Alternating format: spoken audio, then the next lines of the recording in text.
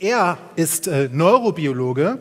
Er beschäftigt sich also mit der Biologie der Nerven, meine Damen und Herren. Und es geht hier jetzt um die Entdeckung der Langsamkeit. Wir begrüßen auch ihn mit einem 10-Punkte-Applaus auf dieser Bühne, meine Damen und Herren. Albrecht Forster für Sie.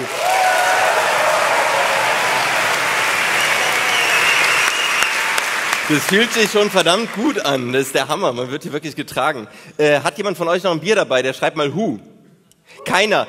Oh, das darf man nämlich nicht im, Her im Saal herrscht Flaschenverbot. Äh, aber nicht auf der Bühne. Ähm, ich mache das nur aus Requisitengründen. Mein Vortrag äh, startet nämlich genau mit diesem Plop. Stellt euch vor, ihr seid auf einer Party, ihr habt gerade das zweite Bier genommen, es ist so mittelspannend und irgendwann kommt folgende Frage. Und, was machst du so? Ich beschäftige mich mit Schlaf. Ah, spannend. Meine Mutter kann auch nicht schlafen. Davor habe ich mich gefürchtet. Ich nehme einen weiteren Schluck. In den nächsten fünf Minuten kommen folgende Stichwörter. Schnarchen. Albträume. Der ist für die Schwaben unter euch. Doch zu viel Kaffee. Die richtige Schlafposition. Und dann folgt, ja, und was machst du da so genau? Naja, also ich beschäftige mich mit Schnecken.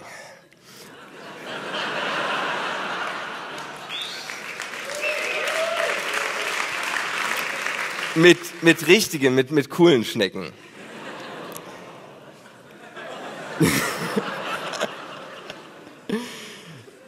Der andere denkt sich mal wieder eine total sinnfreie Arbeit. Der soll sich doch lieber mit den Schlafproblemen meiner Mutter beschäftigen. Und irgendwann kommt da so die Frage, jetzt geht es um Leben oder Tod, mit Haus oder ohne. ohne. Na dann kannst du die ja alle umbringen, besonders die aus meinem Garten denke ich mir, eben war es noch ein bemitleidenswertes Labortier, was hilft, die Schlafprobleme deiner Mutter in den Griff zu bekommen. Doch sobald es im Garten stört, einfach umbringen. Am besten mit Schneckenkorn. Sollen die Viecher doch verrecken. Für die Homöopathen unter euch gibt es jetzt auch folgendes Buch, Schneckenflüstern statt Schneckenkorn.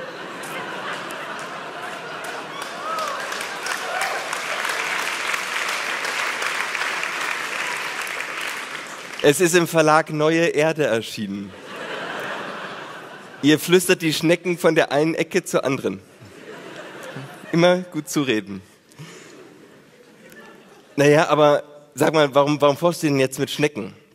Naja, Schnecken haben ein, ähm, ein sehr kleines Gehirn. Also nur 20.000 Nervenzellen. Schon die Fruchtfliege, die euch morgens stört, hat 100.000. Der Fisch eine Million, die Maus 100 Millionen und der Mensch sage und schreibe 100 Milliarden Nervenzellen.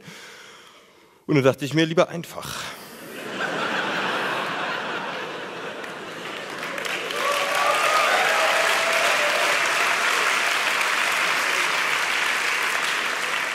Und die Schnecke hat nicht nur wenige Nervenzellen, sondern sie hat auch die größten Nervenzellen auf der ganzen Welt.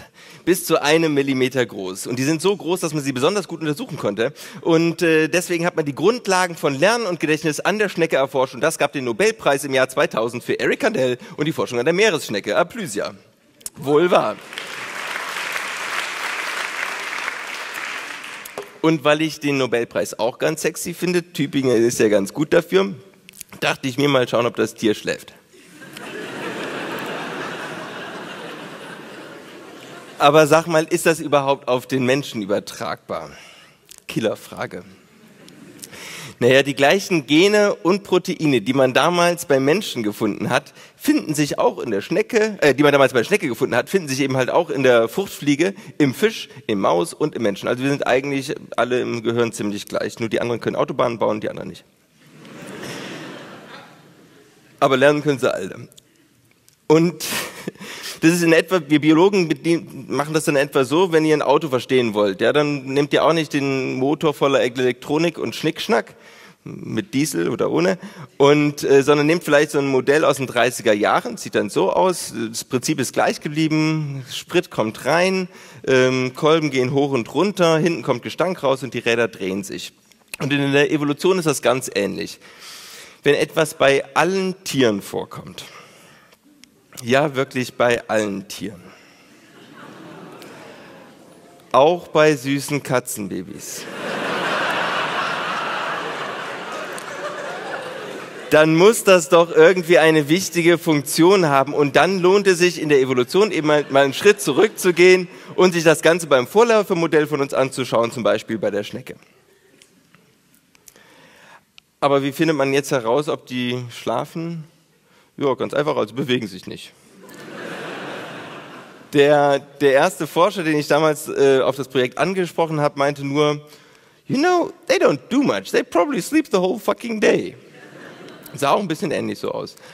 Ähm, ich bin in ein anderes Labor gegangen und ja, das stimmt schon. Äh, Schnecken sind sehr langsam, aber nicht im Zeitraffer.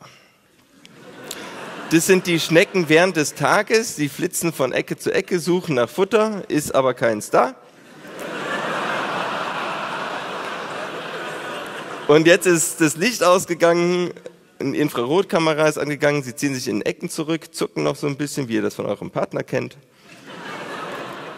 Also meiner tut's. Und äh, ab und zu wachen sie nochmal kurz auf, machen Pipi, gehen dann in die andere Ecke. Und irgendwann ist die Nacht dann vorbei. Aber schlafen die denn wirklich? Ja, Schnecken haben wie wir eine verzögerte Reaktionsfähigkeit im Schlaf. Zum Beispiel auf einen Nahrungsreiz hin oder eben halt auf einen leichten Salzreiz. Man muss die armen Schnecken halt auch aufwecken im Schlaf. Aber vielleicht, vielleicht sehen die einfach nichts im Dunkeln. Also Schnecken haben auch Augen, die sitzen meistens auf den Tentakeln drauf. Bei meinen Schnecken sitzen sie unten an den Tentakeln dran. Und dann habe ich ein Experiment gemacht. Wenn jetzt Schnecken so die ganze Nacht durchfeiern würden, so wie hier in Stuttgart, naja, dann, ähm, dann sollten die doch am nächsten Tag auch tagsüber schlafen. Ja, gemacht, getan. Also ich habe dann mal so eine Nacht Party mit denen gemacht. Und siehe da, Schnecken können auch tagsüber schlafen. Aber was bringt es dir jetzt zu wissen, dass die schlafen? Ja, ich will ja wissen, warum die Tiere schlafen. Ähm, hat der Schlaf bei denen auch irgendwas mit dem Gedächtnis zu? Also habe ich die Schnecken erstmal trainiert und anschließend sie schlafen lassen oder sie nicht schlafen lassen, also hin und her geschubst. Und was bringt man denen so bei? Naja, also der Reifen hat nicht so ganz geklappt. Ähm, das Gute an Schnecken, die essen hier so ein, so ein Seegras, also auch ich erforsche an Makroalgen. Hm, schmeckt auch ganz, oh, ganz gut. Es ist, äh, das ist auch bei, bei, euch auf den Sushis normalerweise drauf. Und ich war ganz fies, ich habe äh, diese Algen genommen, habe die in dieses Netz reingepackt zweimal gefaltet und die Schnecken sind so faustgroß, also das ist wirklich das Netz, was ich nutze. Ähm, und dann nehmen die das schon in den Mund und probieren eben halt an das Seegras ranzukommen. Und wenn die Schnecken das das erste Mal haben, dann probieren die das schon eine halbe Stunde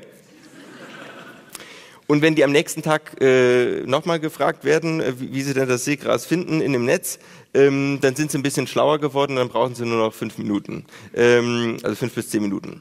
Haben also gelernt, dass sie durch dieses Netz nicht durchkommen. Wenn ich die Schnecken jetzt anschließend aber wach gehalten habe, hier jetzt in Weiß, dann waren die am nächsten Tag nicht so schlau, ähm, sondern haben eben halt die doppelte Zeit gebraucht. Das heißt, Schnecken brauchen wie wir den Schlaf, um zu lernen. Also der, wo, und jetzt, wo liegt denn ja jetzt der Fortschritt? Das Fortschritt liegt ganz wichtig. Ähm, naja, also ich kann auf Mäuse verzichten. Die Leute von Peter in, Frei, in Tübingen schreiben mir nix, nicht mehr aufs Dach, weil es eben halt Schnecken sind und sie die aus dem Garten auch nicht mögen, obwohl sie aber für die... Und die Großmutter kommt trotzdem noch zu ihrem Schlafmittel, was man dann eben halt an den Schnecken erforschen kann. Bei der Schnecke ist es dann wahrscheinlich so ganz ähnlich wie bei euch im, äh, im Gehirn, dass ähm, die Schnecke muss ja in der Nacht dann die Verbindung ziehen zwischen dem Seegras und dass das Seegras, wenn es im Netz ist, äh, nicht essbar ist. Also das ist eine relativ komplexe Verbindung und das muss eben in der Nacht konsolidiert werden. Das ist so ein bisschen wie der äh, Power Fragmenter fürs Gehirn. Da kann man auch währenddessen nicht datteln, muss eben halt den Computer ja, in so einen Schlafmodus schalten. Danach läuft der äh, Computer hoffentlich schneller, energieeffizienter und äh, hat weniger Problemlösungen. Für die Schnecke bedeutet das schlicht, ähm, sie kaut weniger lange auf äh, schlechtem Seegras rum, ähm, was sie nicht essen kann, und hat mehr Zeit für die wesentlichen Dinge des Lebens. Vielen Dank.